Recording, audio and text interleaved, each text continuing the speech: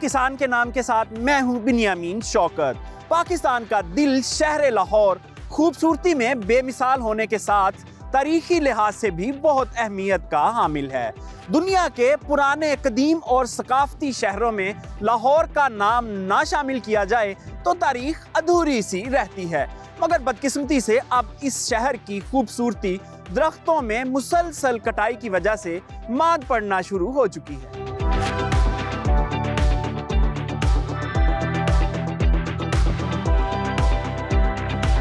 महजब और तरक्की याफ्ता मुआरे में अर्बन प्लांटेशन यानी शहरों में बागबानी, शहर के कुल रकबे के 20 फ़ीसद से भी जायद रकबे पर होनी चाहिए। मगर बदकिस्मती से लाहौर में इस वक्त टोटल अर्बन प्लांटेशन दो फ़ीसद से भी कम है, जो इंतहाई खतरनाक है।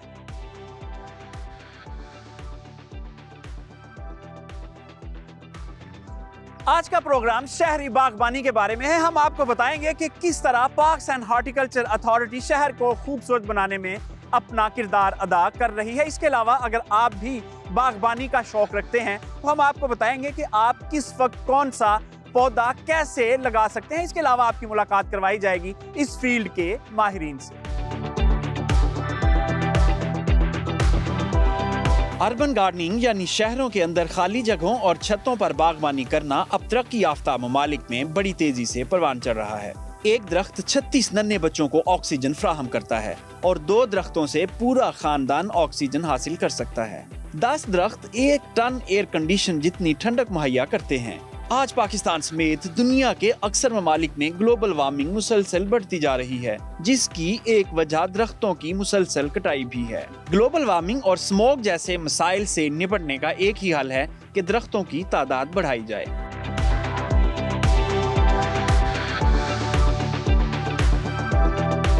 फ्लोरिडा स्टेट में कुल रकबे के 36 फ़ीसद पर दरख्त लगाए गए हैं और आबो हवा के लिहाज से इस शहर का शुमार दुनिया के बेहतरीन शहरों में किया जाता है, जबकि लाहौर में सिर्फ़ दो अशारिया छः फ़ीसद रकबे पर दरख्त पाए जाते हैं और लाहौर का शुमार फजाई आलूदगी के लिहाज से दुनिया के आलूदा तरीन शहरों में होता है। अगर लाहौर शहर की फिजा को साफ़ करना है तो उसका एक ही हल है कि दरख्तों की तादाद को बढ़ाया जाए। जितने ज़्यादा दरख्त, उतनी ही फिजा साफ़ और शफाफ आइए देखते हैं कि लाहौर शहर में दरख्तों की तादाद कब और कैसे कम हुई।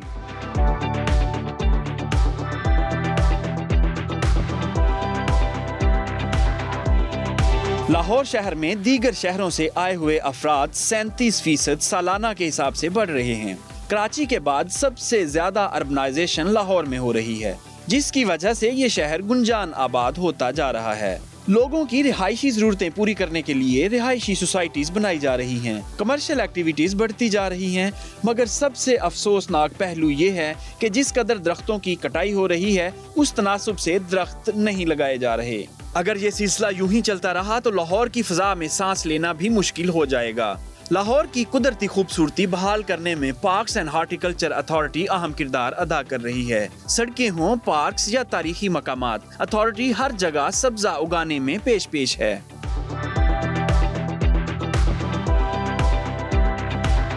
अर्बन गार्डनिंग यानी शहरों के अंदर जंगलात की क्या अहमियत है, ये जानने के लिए इस वक्त हमारे साथ पार्क्स एंड हार्टिकल्चर के शोबा बागात के इंचार्ज तारिक जिया साहब मौजूद हैं। इस हवाले से उनसे मजीद बात करते हैं। अस्सलाम वालेकुम। सलाम। तारिक साहब कैसे हैं आप?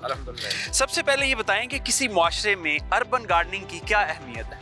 मैं आपको बताऊँ कि ज़मीन का बनाओ संगार दरख्तों से है। अगर आपने लोगों को बीमारियों से बचाना है तो आपको दरख्त ज़्यादा से ज़्यादा लगाने चाहिए। आप ये देखेंगे कि हम एग्रीकल्चर में अक्सर इस्तेमाल करते हैं। शिखर दोपहर ते रुख दी छाँ वाह मौला तेरा ही ना। तो आप इसको मद्देनजर रखते हुए जितने दरख्त लगाएँगे, एक दरख्त अट्ठाईस नन्हे मुन्ने बच्चों के लिए ऑक्सीजन मुहैया करता है। अगर ज़मीन को आपने बचाना है, इस एनवायरनमेंट को बचाना है तो आपको ज़्यादा से ज़्यादा प्लांटेशन करनी होगी। इसी को मद्देनजर रखते हुए गवर्नमेंट ऑफ़ पाकिस्तान ने शहर में अर्बन फॉरेस्ट का एक कंसेप्ट पेश किया और जो हमने एक फुट बाई फुट में पौधा लगाया। एक कनाल में 1125 पौधे लगाए हैं ताकि इस मौसम को ज़्यादा से ज़्यादा पाक किया जाए।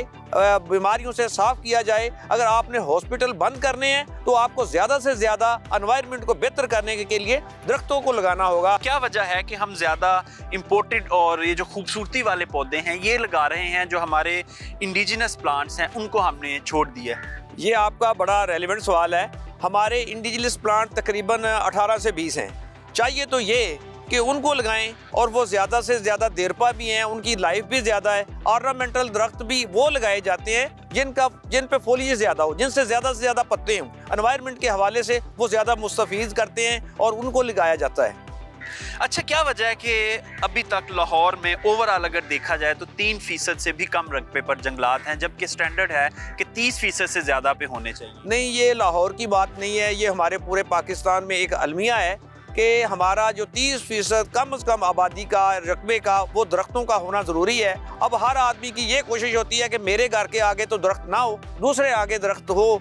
हमारे किसी की शाख भी काटने नहीं देते। इस पर पाबंदी लगाई है गवर्नमेंट ऑफ़ पाकिस्तान ने और हाई कोर्ट की तरफ़ से एक स्पेशल यूनिट बना हुआ है, जिसको जस्टिस साहब डील कर रहे हैं। कि दरख्त ज़्यादा से ज़्यादा लगाएँ और इनको कटाई ना की जाए। करोड़ों शहर हैं लेकिन लाहौर नंबर वन है आलूदगी में। तो जो दरख्त आप लगा रहे हैं उनका इम्पैक्ट नहीं आ रहा। इनशाला आएगा। देखिए एक दरख्त जब हम छोटा लगाते हैं तो तीन साल के बाद उसका रिज़ल्ट आता है। जब वो परवान चढ़ता है जब वो कम से कम आपको नज़र आना शुरू हो जाएगा दरख्त ज़मीन से बाहर आएगा तो फिर ही उसका रिज़ल्ट आएगा ना। जिस कदर पौधे लगाए जा रहे हैं और इनकी हिफाजत की गई है, इनकी आबियारी सही की गई है, इनकी देखभाल सही की गई और इन आप इनको फैलता फूलता देखेंगे जब दरख्त फैलते फूलते देखेंगे तो हॉस्पिटल का रश कम होगा और इन पार्कों में ज़्यादा लोग आएँगे। जी तारिक जा साहब, आपके वक्त का बहुत शुक्रिया। जब तक हम ज़्यादा से ज़्यादा दरख्त नहीं लगाएँगे, उस वक्त हम फ़जाई आलूदगी का मसला हल नहीं कर सकते।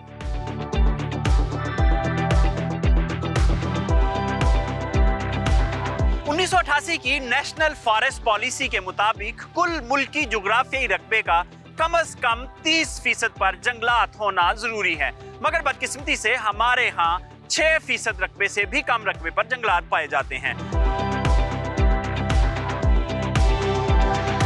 बागों का शहर लाहौर अब आलूदगी में दुनिया के करोड़ों शहरों को पीछे छोड़ चुका है। अक्टूबर शुरू होते ही स्मोक भी शहर को अपनी लपेट में लेना शुरू कर देती है और जनवरी तक यही खतरनाक सूरत हाल वक्फे वक्फे से जारी रहती है दरख्त कार्बन डाइऑक्साइड अपने अंदर जजब कर लेते हैं, जबकि इसके बदले में फ्रेश ऑक्सीजन मुहैया करते हैं, जिससे कुर्रा अर्ज़ पर अनवा इकसाम की हयातियात ज़िंदा हैं। फॉरेस्ट पॉलिसी पर अमल किया जाता तो आज लाहौर भी दुनिया के सेहत अफजा शहरों में शामिल होता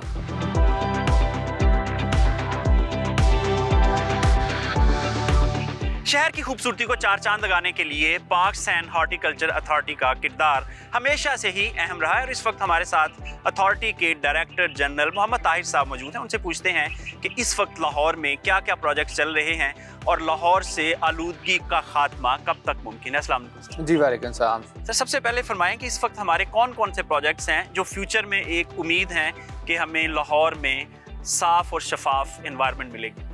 देखिए, इसमें सबसे पहले तो मैं आपको थोड़ा ब्रीफ करता हूँ कि एग्जिस्टिंग जो सिचुएशन है लाहौर में, जो हमारा ग्रीन कवर है और ट्री कवर उससे तो आपको अंदाज़ा हो जाएगा कि हमारी जो सिचुएशन है वो कितनी बुरी है। इस वक्त हम अगर टोटल ग्रीन एरिया की बात करें तो हमारा 10 साल में 36 परसेंट ग्रीन एरिया से अभी जो है कि वो हम आज से तीन साल पहले जो 13 परसेंट ग्रीन एरिया पे थे, अभी हम 5.6 परसेंट ग्रीन एरिया पे हैं। बाकी सारा जो है कि वो हमारा जो एरिया है, वो येलो हो चुका है, यानी उस पर कंस्ट्रक्शन हो चुकी है। तो इससे आप अंदाज़ा लगाएँ कि सिचुएशन कितनी बुरी है। और अगर हम सिर्फ़ ट्री कवर की बात करें तो ट्री कवर जो है, हमारा 3.5 परसेंट से अब नीचे आके 0.70 परसेंट है, जो कि लाहौर में अगर पूरे डिस्ट्रिक्ट लाहौर की बात करें तो एक परसेंट भी ट्री कवर नहीं है। वो एरिया जो सिर्फ़ पी एच देखता है या जहाँ पे जो गवर्नमेंट के बड़े प्लॉट्स हैं या गवर्नमेंट की बड़ी जो पार्स हैं, उस एरिए में जो है कि आपके पास फाइव परसेंट परसेंट के करीब ट्री कवर है। बाकी रेस्ट ऑफ़ लाहौर को अगर आप टोटली देखेंगे तो पॉइंट सेवन ज़ीरो परसेंट जो है कि वो आपका ट्री कवर सर, वजह क्या है? इतनी तबाही क्यों हो रही है और जुम्मेदार कौन है इसका? इसमें देखें, इसमें दो फैक्टर हैं। एक तो उसमें पहला फैक्टर जो है कि वो आपकी अर्बनाइजेशन है। अर्बनाइजेशन आपकी लाहौर की फोर्टी परसेंट जो है कि वो अर्बनाइजेशन है। और इसमें जो आप अंदाज़ा लगाएँ कि इसमें जो एक हमारी क्रॉस जो कंट्री माइग्रेशन होती है टुवर्ड सिटी उसमें जो है कि हमारा थर्टी परसेंट है सेवेंटी परसेंट जो है इंडिजिनस जो है कि वो पॉपुलेशन पॉपुलेशन ग्रोथ है। अब इसके बाद जो है कि अगर 2027 तक ये जो है हमारी 70 परसेंट तक जो है कि वो इसकी पॉपुलेशन डेंसिटी भी बढ़ेगी और माइग्रेशन भी होगी। तो सिचुएशन इतनी ज़्यादा जो है कि वो वर्स होने जा रही है। बाकी जो इसकी रिस्पॉन्सिबिलिटी जो मेन है, वो तो हमारी जो है कि वो, जो हमारी सिटी की अर्बन डेवलपमेंट की प्लानिंग है, जिस इदारे का काम है ये उसकी ज़िम्मेदारी थी और कि इसमें जो है कि ग्रीन एरिया जो है कि उनको किसी भी सूरत में कंप्रोमाइज़ नहीं करना चाहिए था। ये फरमाएँ कि डिफरेंट कंट्रीज़ में जो हाउस प्लानिंग वाले हैं, जब वो अप्रूवल देते हैं किसी के घर के कंस्ट्रक्शन की तो उसमें ये मैंडेटरी होता है कि एक या दो या तीन दरख्त और जो रूफ टॉप है, वो ग्रीन होगा। लेकिन पाकिस्तान में बदकिस्मती से ऐसा नहीं है। क्या कोई ऐसा कानून बन सकता है? क्या ऐसा बनना चाहिए? जी हम अभी प्रपोज कर रहे हैं कि एटलीस्ट जो एक कनाल के घर में जो है फाइव ट्रीज जो है और इसी तरह जो फाइव मरला का घर है उसमें एक ट्री जो कंपलसरी होना चाहिए। मैं सर ये बताएँ कि जो पार्क एंड हॉर्टिकल्चर अथॉरिटी है इसका जो रोल था वो आ, सही से प्ले हो रहा है? देखिए इसमें जो है पंजाब और हॉर्टिकल्चर अथॉरिटी जो है कि इस वक्त जो है कि वो आ, 1000 के करीब पार्ट छोटे बड़े देखती है, लेकिन अगर आप कंप्लीट पार देखें तो 850 के करीब जो है, वो पार्स हैं जो ये हम इसको मेंटेन करते हैं। बाकी जो 3000 जो है कि वो एकड़ पे हमारी ग्रीन बेल्ट हैं। अब एरिया जो गवर्नमेंट के हैं या जो ओपन एरियाज़ हैं, वो तो बहुत कम है, जहाँ पे अभी जो है कि वो अवेलेबल हो और पीएचई ने वहाँ पे किसी किस्म का हॉर्टिकल्चर ना किया हो। लेकिन स्टिल जो है कि वो आई बिलीव कि we are still focused on horticulture और हमें जो है कि वो फॉरेस्टेशन की तरफ़ जो है कि वो जाने की ज़रूरत थी। और क्योंकि अभी भी जो आप देखें कि अगर हमने अपना एरिया जो है 25 परसेंट तक लेके जाना है लाहौर का ट्री कवर तो हमें अभी भी तकरीबन डेढ़ से पौने दो लाख एकड़ जो है कि वो ट्री का एडिशन करना होगा। तो हमारे पास इतनी ज़मीन अवेलेबल है लाहौर में इसको किया जा सके? देखिए इसमें हमने डायग्नोज की हैं कुछ जो जगह हैं आइडेंटिफाई की हैं। जैसे रेलवे ट्रैक जो है कि पूरा सिटी के अंदर से गुजरता है वो तकरीबन साठ सत्तर किलोमीटर की वो पूरी स्ट्रिप है उसकी दोनों साइडें हैं। रिंग रोड जो है ना सिर्फ़ वो रोड का रिंग रोड होना चाहिए बल्कि वो ट्री कवर का भी रिंग रोड होना चाहिए। उसकी दोनों साइडों पे जो अवेलेबल लैंड है वो सारा ट्री कवर होना चाहिए। जी जी। वन लाइनर की बात की जाए तो कहाँ हर्डल है कि हमारा लाहौर का और ओवरऑल पंजाब का जो इन्वायरमेंट है वो अब पलूट होता है देखिए इसमें जो है कि सिंपल सी पहली बात है कि आपको तीन चार स्टेप जो है कि वो लेने पड़ेंगे। एक तो आपको जो ये ट्रैफ़िक है इस, इसकी जो मिटिगेशन आपको करनी पड़ेगी ग्रेजुअली जो पुरानी गाड़ियाँ हैं उनकी आपको लिमिट रखनी पड़ेगी वो इस सिस्टम से ख़त्म करनी पड़ेंगी। फिर आपको जो है कि वो इलेक्ट्रिक जो है उसकी तरफ़ जाना पड़ेगा। फिर जो कई इंडस्ट्रियल यूनिट हैं जैसे बीजिंग में उन्होंने चाइनीज़ ने कोल वाले दूसरे वो ख़त्म कर दिए। उनको रेलोकेट करना पड़ेगा यहाँ से। और तीसरा फो, फो, फोर मोस्ट जो है वो ये है कि आपको एटलीस्ट जो है कि ट्वेंटी फाइव थाउज़ेंड एकड़ जो है फॉर नेक्स्ट फिफ्टीन ईयर जो है कि वो ट्री प्लांटेशन करनी पड़ेगी। ग्रीन जो इंफ्रास्ट्रक्चर है इस पर आपको बहुत ज़्यादा पैसा लगाना पड़ेगा। जी सर, आपके वक्त का बहुत शुक्रिया। अगर हमें शहर लाहौर को रहने के काबिल बनाना है तो यकीनन हमें इसके इन्वायरमेंट को क्लीन करना ही पड़ेगा और उसके लिए ह्यूज वर्क भी चाहिए इंफ्रास्ट्रक्चर भी चाहिए और लागत भी चाहिए। शहर की फिजा को सांस लेने के काबिल बनाना सिर्फ़ हुकूमत की ज़िम्मेदारी नहीं, क्योंकि हुकूमत हर जगह दरख्त नहीं लगा सकती। हर शहरी की ज़िम्मेदारी है कि अपने घर, गली, मोहल्ले और खेतों में दरख्त लगाए, जंगलात की तादाद ज़्यादा बढ़ाए, ताकि आइंदा नस्लों के लिए ये फिज़ा सांस लेने के काबिल बनाई जा सके। दरख्त लगाने के लिए ज़रूरी नहीं कि आपके पास बहुत ज़्यादा ज़मीन हो, बल्कि आपके घर का छोटा सा लॉन भी दो दरख्तों की मेजबानी कर सकता है। आपके घर की छत पर भी सब्ज़ियाँ और छोटे कद वाले पौधे उग सकते हैं, जहाँ से आप ताज़ा सब्ज़ियाँ हासिल कर सकते हैं। आप कमरे के अंदर भी पौधे वाले गमले रख सकते हैं। छोटे छोटे इकदाम से हम फजाई आलूदगी जैसे बड़े मसले से जान छुड़ा सकते हैं। ग्रीनरी और फूल इंसानी नफ्सियात के ऊपर क्या असरात मुरतब करते हैं, ये जानने के लिए इस वक्त हमारे साथ मेडिकल की चंद स्टूडेंट्स मौजूद हैं, उनसे जानते हैं। वालेकुम सफदा मरियम, आप ये बताएँ कि ये जो फूल हैं, ये इंसानी सेहत के लिए कितने ज़रूरी हैं? ये फूल और ग्रीनरी जो है, ये इंसान की सेहत पर हेल्थ पर बहुत ज़्यादा पॉजिटिव इम्पैक्ट्स डालती है। जैसे कि इससे, जैसे ग्रीनरी है, ये बहुत सी बीमारियों से इंसान को दूर रख सकती है। तो इससे पोल्यूशन में भी बहुत ज़्यादा कमी आती है। इसमें बहुत सारी सांस की बीमारियों में कमी आती है। जैसे कि हम सी ओ पी डी कहते हैं अस्थमा कहते हैं इन सब में कमी आती है। उसके अलावा हाई ब्लड प्रेशर सबसे ज़्यादा है। और ये माहौल को साफ़ करते हैं। ब्रेक और ब्रेक के बाद देखेंगे कि क्या मुहरकत हैं। पाकिस्तान में जंगलात बढ़ने की बजाय मुसलसल कम होते जा रहे हैं। स्टे विद अस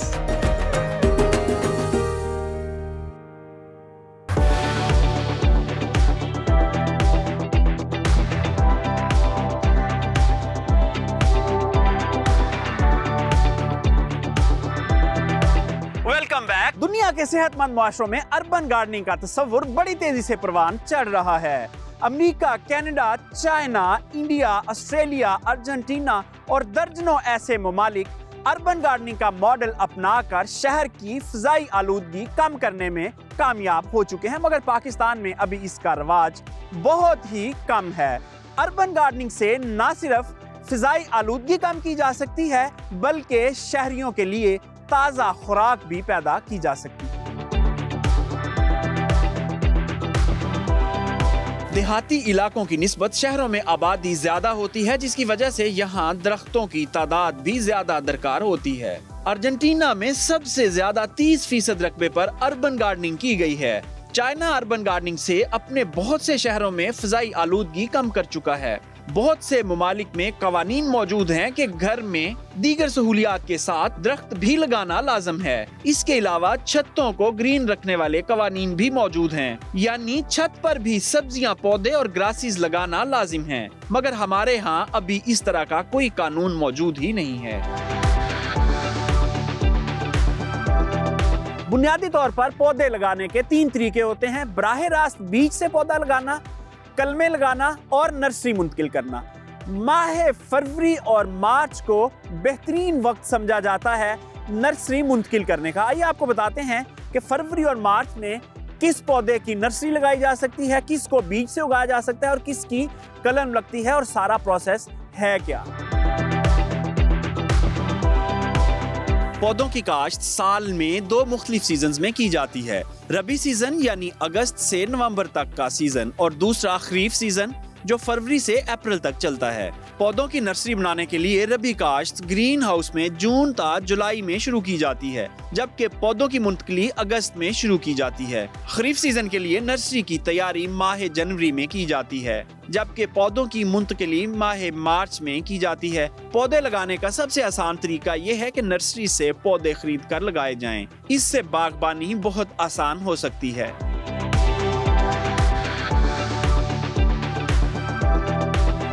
मौसम सरमा हो या गर्मा, बहार हो या खिजा, हर मौसम में आपको लाहौर में मुख्तलिफ़ इकसाम के फूल नज़र आते होंगे और आज हम आपकी मुलाकात करवाने जा रहे हैं ऐसे ही शख्स से जो लाहौर को फूलों से सजा देता है। जी हाँ बागबानी के माहिर मोहम्मद सरफराज हमारे साथ इस वक्त मौजूद हैं। उनसे लाहौर की खूबसूरती और फूलों के हवाले से चंद सवाल करते हैं। वालेकुम सलाम।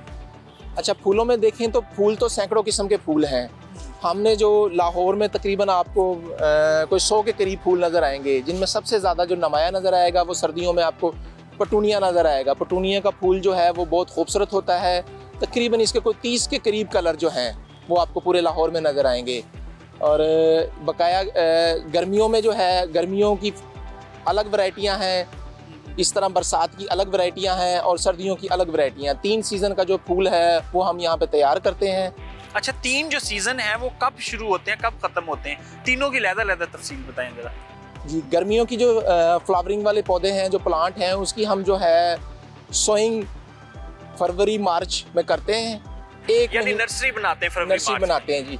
उसके बाद उनको शिफ्टिंग जो है हम अप्रैल में शुरू कर देते हैं। अप्रैल मई जून में उसकी शिफ्टिंग होती है वो फ्लावरिंग पे आ, फिर आ जाते हैं उसके अलावा नेक्स्ट जो है उसको मैरी गोल्ड जाफरी उसकी हम सोइंग जो है वो अगस्त में शुरू कर देते हैं। वो अगस्त से लेकर जनवरी तक जो है ना वो फ्लावर देता है अपना। इसके बाद फिर नेक्स्ट हमारा जो सर्दियों का शुरू हो जाता है, उसको हम अक्टूबर में शुरू करते हैं। अक्टूबर, नवंबर उसकी सोइंग होती है। पैंतीस से चालीस दिन उसकी पनीरी तैयार होने में लेती है। उसके बाद जो है वो फिर उसको हम ज़मीन में ट्रांसप्लांट करते हैं और तीन से साढ़े तीन महीने उसका जो है ना फूल रहता है। आपको अब जो है सर्दियों की फ्लावरिंग जो है वो फरवरी मार्च अप्रैल मई तक जो है ना आपको वो सर्दियों की फ्लावरिंग नज़र आएगी आपको। अच्छा ये बताएँ कि जो लोग घरों में नर्सरी लेके जाते हैं और जाके अक्सर उनकी शिकायत होती है कि फूल निकले नहीं या पौधा जल गया है या उसकी ग्रोथ नहीं उसकी क्या वजूहत हो सकती इसके लिए या तो आपको एक एक्सपर्ट माली रख लें या खुद आप इंटरेस्टेड हों तो फिर उसमें आपको किसी एक्सपर्ट से मशवरा करके ये एक समुंदर है हॉर्टिकल्चर बागबानी एक समुंदर है, इसमें हज़ारों किस्म को आपको फूल मिलेंगे, जिनमें सीजनल भी होंगे प्रीनियल भी होंगे, गुलाब है, इस तरह बहुत सारी वैरायटी हैं शरब्स हैं ट्रीज़ हैं, जिन पे फ्लावर आते हैं। तो हर चीज़ का लगाने का एक अलग टाइम है, उसकी ग्रोथ का अलग है। नर्सरी किसी ने बनी बनाई ले ली है, अब उस नर्सरी को ट्रांसप्लांट करने के क्या स्टेप्स हैं? उसको पानी कब लगाना है? खाद कौन सी लगानी है? और ट्रांसप्लांट करने का क्या तरीकाकार है? तीन से चार इंच का पौधा हो जाए तो तब उसको हम ट्रांसप्लांट करते हैं। ठीक है तकरीबन एक महीने का पौधा बीज लगाने के बाद बन जाए तो उसको ट्रांसप्लांट किया जाता है। इन सर्दियों के अंदर पानी हम एक दिन लगा लें तो तीन दिन निकल जाते हैं चार दिन निकल जाते हैं। गर्मियों में दिन में दो दफ़ा लगाया जाता है। अच्छा इनको खादें कौन सी डलती हैं ताकि अच्छे फूल आए? खादें जो हैं अगर हम ऑर्गेनिक की बात करें तो leaf compost farm yard manure बेहतरीन खादें हैं इनके लिए। मट्टी में मिला के आप उनको इस्तेमाल करें। अच्छा अगर हम केमिकल खादों की बात करें तो यूरिया डीएपी और एनपीके का जो है ना मोस्टली इस्तेमाल होता है। कि जो इसका बेड तैयार किया जाता है जहाँ हमने नर्सरी मुंतकिल करनी है उसमें मट्टी का और कंपोस्ट का क्या रेशो होना चाहिए? अगर आपने अच्छी फ्लावरिंग लेनी है पौधे की ग्रोथ अच्छी आप चाह रहे हैं तो उसमें आम मट्टी ना हो उसमें भाल हो सिल्ट हो दरियाई हो या नहर की हो तो बहुत बेहतरीन है। उसमें मट्टी की भल के अंदर आपने जो है ना दो हिस्से भल हो और एक हिस्से उसमें आपने जो है ना फार्म यार्ड मेन्योर जो है और लीफ कंपोस्ट का मिक्सचर जो है ना वो डालना है। पानी लगाने में क्या गलती करते हैं आमतौर पर पानी में जब छोटे पौधे को हम ट्रांसप्लांट करते हैं ना उसको शावर के ज़रिए पानी लगाएँ। डायरेक्ट अगर हम पाइप से पानी लगाएँगे तो वो मर जाएगा। जी सरफराज साहब बहुत शुक्रिया। आप भी अपने लान और घर को अगर फूलों से खूबसूरत करना चाहते हैं तो यकीनन ये बताए गए तरीके आपके लिए मुफीद साबित हो सकते हैं।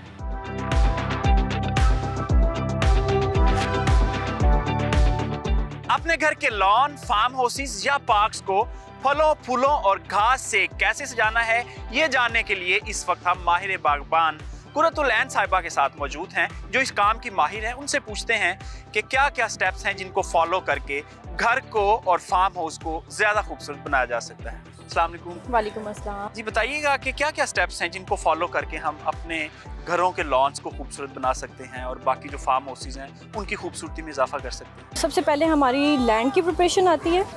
हम उसमें खाद डालते हैं लैंड को प्रिपेयर करते हैं। सबसे पहले हमारी जो मेन इंग्रेडिएंट होता है वो घास होती है। तो जब हम घास की प्रिपरेशन करते हैं घास को लगाते हैं तो उसके अंदर वीड्स ना उगें उसके लिए हम वीडीसाइड यूज़ करते हैं उसका स्प्रे करते हैं। तो जब हमारी लैंड प्रिपेयर होती है उसके बाद उसके ऊपर हमने क्या डिज़ाइन करना है ये हम सेकेंड स्टेप उसमें आता है। अच्छा कितने परसेंट एरिया पे घास होनी चाहिए और कितने परसेंट एरिया पे ग्रे स्ट्रक्चर होना चाहिए? Sir it's all depends on the location and size of your area आप जितने भी स्केयर फुट में ये डिपेंड कर रहा होता है आपकी पर्सनल चॉइस के ऊपर। अब मैं छोटे से एरिया में मेरी चॉइस है कि मैं सिर्फ़ इसको ग्रीनरी में रखना चाहती हूँ ठीक है? और मेरे मेरी चॉइस है कि मैं इसको थोड़ा जो है वो हार्ड स्ट्रक्चर देना चाह रही हूँ हार्ड लुक में लेके आना चाह रही हूँ हार्ड लैंडस्केपिंग में लेना चाह रही हूँ। और अगर आपके पास बहुत छोटा एरिया है तो फिर आप डिसाइड करते हैं कि आपने ग्रीनरी का पोर्शन रखना है या आपने इसके अंदर कुछ कंक्रीट टाइप की चीज़ें यूज़ करनी है। तो सर इसके अंदर हार्डस्केपिंग भी आ जाती है और सॉफ्ट लैंडस्केपिंग आती है। दो टाइप्स होती है ना hard landscaping and soft landscaping soft landscaping के अंदर आपकी प्लांटेशन आती है, आपके फ्लावर्स आते हैं, आपने उसको घास आ जाती है, आपने किस तरह चीज़ों को उसके अंदर मेंटेन करना है?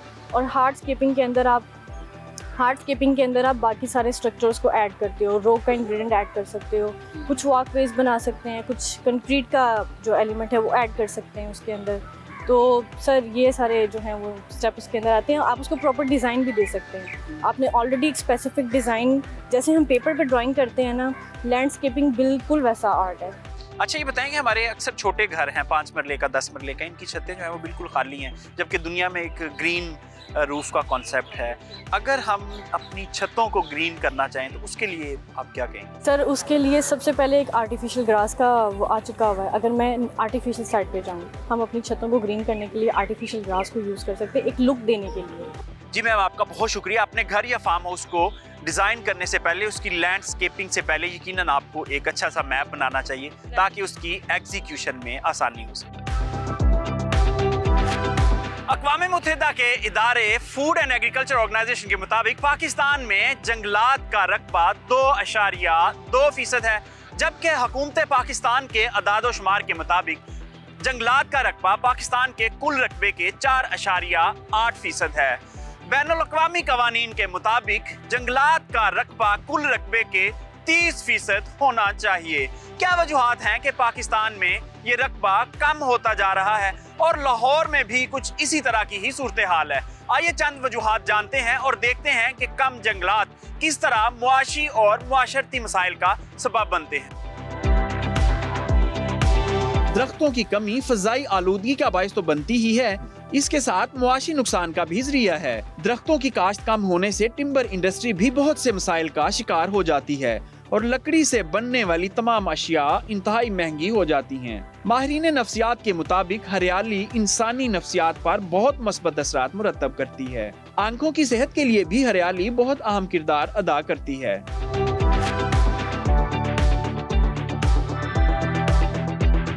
फ्लोरिकल्चर में महँगे पौधों की बात करें तो बोनसाई एक महँगा तरीन पौधा है, जिसकी कीमत कम अज कम पचास हज़ार रुपए से शुरू होती है और पाँच लाख रुपए तक जाती है।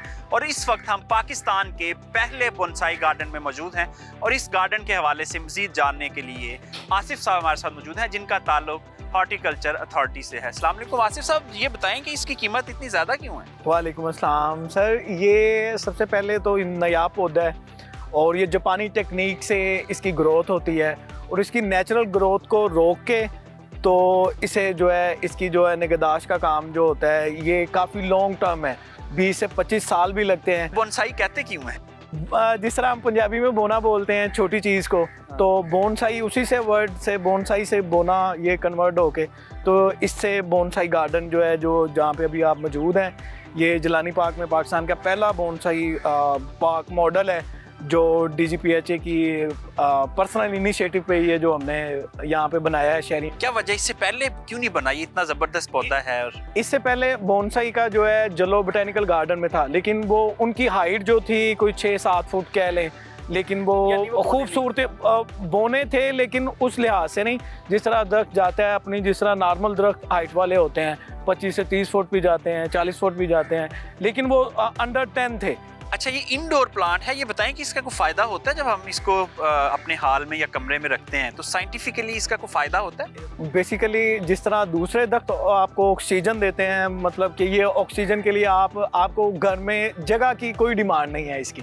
कि आप बगैर आपके घर में, अब अगर आपको गार्डनिंग का शौक है बागबानी का घर में शौक है तो आप ये प्लांट्स अपने घर में रख सकते हैं। चलें जी, ज़बरदस्त अगर आपके पास भी घर में कम जगह है तो आप भी बोनसाई का पौधा रखकर ऑक्सीजन भी हासिल कर सकते हैं और ये खूबसूरती का भी बेहतरीन ज़रिया है।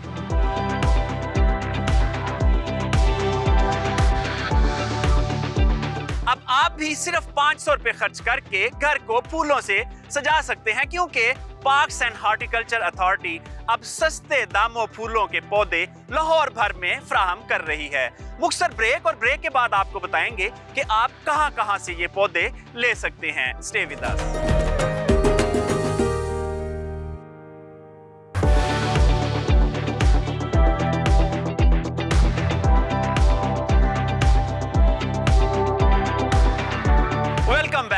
geographically Pakistan एक ऐसे खिते में वाक़ है जहाँ इर्द गिर्द के ममालिक फ़जाई आलूदगी फैलाने में अहम किरदार अदा कर रहे हैं। फ़जाई आलूदगी फैलाने वाले ममालिक की फहरिस्त में पाकिस्तान एक सौ अट्ठावनवे नंबर पर आता है, जबकि मुतासरा ममालिक की लिस्ट में पाकिस्तान आठवें नंबर पर है। यानी हम ना करदा गुनाहों की सजा भुगत रहे हैं और इसका हल सिर्फ़ दरख्त लगाना है, यानी बहुत ज़्यादा प्लांटेशन आइए देखते हैं कि इस खत्े में कौन सा मुल्क कितनी फजाई आलूदगी फैला रहा है? फिजाई आलूदगी फैलाने वाले ममालिक की फहरिस्त में चाइना नंबर वन है, जो ग्लोबल आलूदगी में 30 फ़ीसद का हिस्सा डाल रहा है। दूसरे नंबर पर अमेरिका आता है, जो फिजाई आलूदगी में 15 फ़ीसद का हिस्सादार है।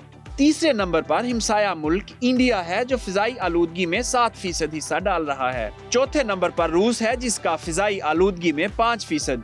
और पाँचवें नंबर पर जापान, जो ग्लोबल फजाई आलूदगी में चार फ़ीसद का हिस्सा डाल रहा है। वतन अज़ीज़, फजाई आलूदगी फैलाने वाले ममालिक की फहरिस्त में बहुत नीचे है। हुकूमत पंजाब की तरफ़ से कायम किए गए इदारे हॉर्टिकल्चर एंड लैंडस्केपिंग इंस्टीट्यूट में तीन माह से एक साल तक के मुख्तलिफ़ बागबानी के कोर्सेज करवाए जाते हैं, जिनकी कोई फ़ीस नहीं ली जाती।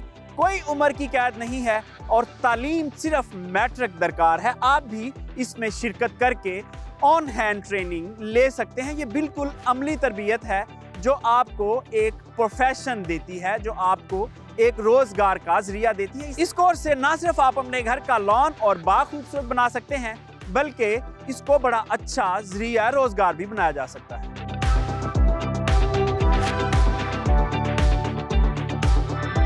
फ्लोरिकल्चर एंड लैंडस्केपिंग इंस्टीट्यूट तलबा को अमली तरबियत देने के लिए इंतहाई अहम किरदार अदा कर रहा है। यहाँ से आप कंप्यूटराइज लैंडस्केपिंग मौसमी फूलों की अफजाइश, घरेलू पौधों की अफजाइश किचन गार्डनिंग जीनती पौधों की फ़ार्मिंग जीनती पौधों की फ़ार्मिंग वगैरह की ट्रेनिंग ले सकते हैं। ये ट्रेनिंग सेंटर बाग जना में वाक़ है जहाँ मुख्तलिफ़ इकसाम के फलदार और फूलदार पौधों पर अमली ट्रेनिंग दी जाती है। ये हकीकत है कि लाहौर में बागबानी बहुत कम है आपको घरों में बहुत कम फूल और पौधे नज़र आएँगे। इसकी वजह क्या है? लोगों में शौक नहीं है या इसकी अहमियत का पता नहीं है या फिर कोई फाइनेंशियल रुकावटें हैं। ये जानने के लिए इस वक्त हमारे साथ अब्बास साहब मौजूद हैं डिप्टी डायरेक्टर हैं पार्क्स एंड हार्टिकल्चर अथॉरिटी उनसे पूछते हैं कि लोग घरों में बागबानी क्यों नहीं करते? इस्लाम जी वालेकुम सर फरमाइएगा क्या वजह है कि हमारे लोगों में शौक नहीं है बागबानी का? जी बिस्मिल्लाहिर्रहमानिर्रहीम जी जैसा आपने क्वेश्चन किया है इसके मतलब कर्ज ये है कि अब बहुत सारी अवेयरनेस आ चुकी है लोगों में हम्म। और पीएचए ने खास कर ये अवेयरनेस पैदा की है कि आप घरों में फूल ज़रूर लगाएँ हम्म। और लोग लगा रहे हैं लेकिन इतनी अवेयरनेस नहीं है कि इसकी जितनी होनी चाहिए हम्म। और इस पर हमने फीमेल्स को इधर भर्ती किया हुआ है और वो ऐसा ऐसा लोगों को बता रही हैं कि फूलों की कौन कौन सी इकसाम है किस किस सीज़न में लगाई जाती हैं और कहाँ कहाँ इनको लगाना चाहिए इससे पहले इनकी जो मट्टी है वो कैसी होनी चाहिए इस पर खादों का इस्तेमाल क्या होना चाहिए? पूरी ट्रेनिंग दे रहे हैं। हाँ जी उसको हम ट्रेनिंग दे रहे हैं। ट्रेनिंग में अगर किसी ने पार्टिसिपेट करना हो तो उसका तो क्या वो हमारे बाग जना के अंदर एक फ्लोरिकल्चर एंड लैंडस्केपिंग का इदारा खुला हुआ है।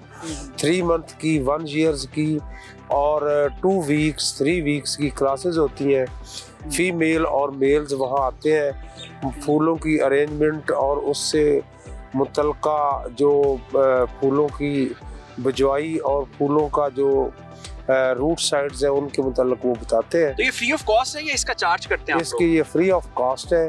और जहाँ पे फ्लोरिकल्चर एंड लैंडस्केपिंग की बकायदा ट्रेनिंग दी जाती है। अच्छा आपने बताया कि तीन माह की है और फिर एक साल की है तो इसका फिर आप बाकायदा सर्टिफिकेट इशू करते हैं तो इसका जो क्राइटेरिया है वो क्या है? कम से कम कितनी क्वालिफिकेशन होनी चाहिए? कम कम क्वालिफिकेशन उसकी मेट्रोकुलेशन होनी चाहिए। और इससे ज़्यादा हो तो बहुत अच्छी बात है। वहाँ पे गवर्नमेंट ने इंस्ट्रक्टर वगैरह भी हायर किए हुए हैं और एक बाकायदा अदारा है जो तरबियत देता है।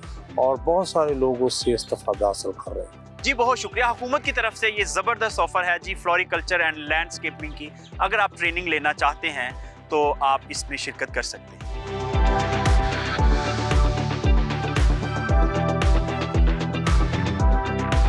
फूलों की कशिश ना सिर्फ़ बड़ों को, बल्कि बच्चों को भी अपनी तरफ़ खींच ही लेती है। इस वक्त हम एक पार्क में मौजूद हैं, जहाँ छोटे छोटे प्यारे प्यारे से बच्चे फूल देखने आए हैं। उनसे पूछते हैं कि वो पार्क में क्या देखने आए हैं और इसका क्या फ़ायदा होता है उनको? जी बेटा। हमें पूल अच्छे लगते हैं हम इसलिए इधर आते हैं। यहाँ की एनवायरनमेंट भी हमें अच्छी लगती है और हमें हमारे साथ हमारे मम्मा पापा भी। अच्छा आप महीने में कितनी दफ़ा आउटिंग करते हैं इस तरह के गार्डन हफ़्ते में एक दफ़ा एक दो दफ़ा दो हम आते हैं। अच्छा बेटा आप बताएँ आपको कैसा लगता है पार्क में आगे? पार्क में आके मुझे बहुत अच्छा लगता है और यहाँ पे बहुत सारे फ्लावर्स भी हैं। अच्छा अभी बच्चे जिद करते हैं पार्क में आने के लिए या आप खुद लेके आते हैं? जी बिल्कुल बच्चे बहुत जिद करते हैं तंग करते हैं बल्कि छुट्टी होते ही शुरू हो जाते हैं। कि हम लोगों ने ना पार्क जाना है हमें लेके जाओ। उसके बाद हम इन्हें लेके आते हैं तो इनकी खुशी देख के हमें भी बहुत खुशी होती है। अच्छा ज़ाहिर है ये घर से निकलना और ट्रैवल करना ये सारी चीज़ें कॉस्ट करती हैं टाइम भी है फिर पैसा भी इन्वॉल्व होता है। तो आप किस तरह कन्विंस हो जाते हैं कि बच्चों को पार्क लेके जाएँ हफ़्ते में दो दफ़ा? देखिए बच्चों की खुशी में ही हमारी खुशी है। तो बच्चे जब कहते हैं मुझे कहीं भी जाने का कहते हैं तो फिर मैं उनको लेकर आता हूँ। ज़्यादा मैं प्रेफर इसी पार्क को करता हूँ क्योंकि यहाँ का इन्वायरमेंट बहुत अच्छा है। और यहाँ पे एक बच्चों की वॉक हो जाती है, हमारी भी वॉक हो जाती है, उसके साथ साथ बच्चे अपना जो इन्वायरमेंट करते हैं, इस वजह से यहाँ पे आया जाता है। जी, बिल्कुल, पार्क जो है वो खूबसूरती के साथ साथ वॉक का और सेहतमंद ज़िंदगी का भी बेहतरीन राज है।